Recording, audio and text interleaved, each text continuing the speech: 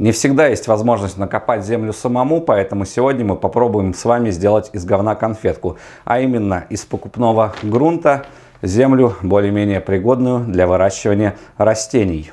Если у вас есть возможность накопать землю где угодно, хоть в лесу, хоть у себя на огороде, лучше накопайте свою и не парьтесь потому что вероятность того, что у вас что-то загнется в своей земле, гораздо меньше, чем в покупной земле, потому что когда вы копаете свою землю, вы точно знаете, что и где вы накопали, а когда вы покупаете покупную землю, вы покупаете, по сути, кота в мешке. Итак, какую землю купить в случае, если мы используем покупную? Самую дешевую. Потому что я пробовал разные грунты, и дешевые, и дорогие, их все равно надо допиливать. А если что-то надо допиливать, то нет смысла покупать дорогое. Кстати говоря, в основе 99, по крайней мере, процентов земли это обычный торф. А по цене они отличаются только наличием каких-либо добавок. Так вот, сейчас мы возьмем самую дешевую землю и сами эти добавки туда добавим. Таким образом мы будем точно знать, что у нас э, здесь добавлено и в каких пропорциях. Это ведро на 20 литров. И я в нем сейчас смешаю 10 литров земли. Именно столько мне нужно для помидора. Столько же всего скорее у меня будет для перца а для огурца я пока еще не решил. Объем этого стаканчика литр, и мне сейчас сюда нужно высыпать 8 таких стаканчиков. 8 стаканчиков я сюда насыпал, получилось 8 литров. Теперь очень хорошо будет добавить сюда какой-нибудь разрыхлитель. Агроперлит, например, как у меня в данном случае, вермикулит, либо кокосовый субстрат. Но в случае, если вы используете кокос, будьте очень осторожны, потому что его обязательно надо промывать. Подробное видео, какую опасность стоит в себе кокосовый субстрат, вы можете посмотреть по ссылке наверху, где-то там оно будет.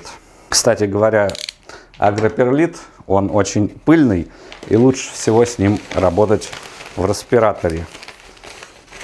Агроперлита я сюда положу 20%, соответственно 2 стаканчика. И предварительно немного перемешаем. Также сюда будет очень хорошо добавить какой-нибудь органики. Компост там, перегной, биогумус или вот как у меня в данном случае сапропель я нашел. Биогумуса в Ашане почему-то не было. Он гранулированный и какой-то написано супер концентрированный. Вот здесь у меня 200 грамм. Думаю, этого будет достаточно.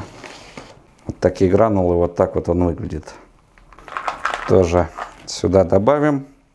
И, конечно же, потому что торф обычно кислый, очень будет хорошо сюда добавить доломитовой муки из пропорции стакан на ведро. Ну вот этот стаканчик как раз 200 грамм, 10 литров я сюда добавляю.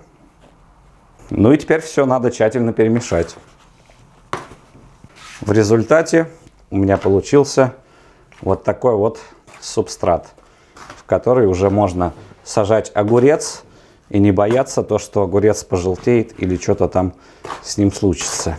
Не знаю, как себя поведет вот такой вот сапропель, но, на мой взгляд, лучше использовать негранулированный. Хотя, если он действительно тут супер концентрированный, то, наверное, будет хорошо. Посмотрим.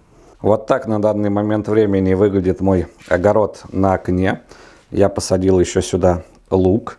Это он еще у меня в деревне пророс в темноте, поэтому он такой уже вытянутый. Но вот, видим, уже он начинает тянуться к свету. Перчик, вон, по крайней мере, одна петелька есть. Огурцы взошли хорошо, но в этом стаканчике почему-то не очень. И один, который зашел, загнулся. А вот помидорки вот так хорошо тоже взошли. Думаю, через несколько дней я уже помидоры распекирую.